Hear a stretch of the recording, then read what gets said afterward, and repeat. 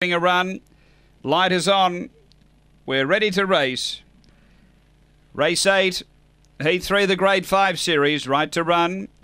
Away, good line away. Uh, pace out deep. Austin Powers looking to get over, but as a baby and tip top Tian boot through to hold it early. Uh, up to fourth, Betty's Hot Pot and a couple away. Ready successor. Then Ashby Days from Super Veloce and rebound Rita. As a baby gets a clear lead. Betty's Hot Pot through after it though. Then tip top Tian as a baby in front. Betty's Hot Pot closing it out. They drive.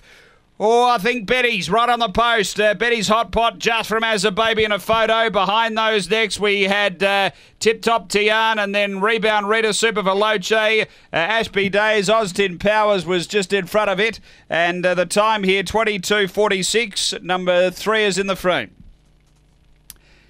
It's 3 1 and uh, third home number two. Fourth will be seven. Uh, three the winner, which is Betty's Hot Pot. Peter Jovanovic.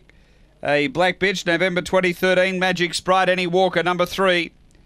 Second to one as a baby. Uh, Tony Henriksen, a Red Brindle Bitch, December 2013. Kinloch Brae, American Spot. And third to two, Tip Top Tian, Christopher Yench. A Black Bitch, February 2014. Jarvis Bale, Sweet Honey Pie. 3127 after race eight.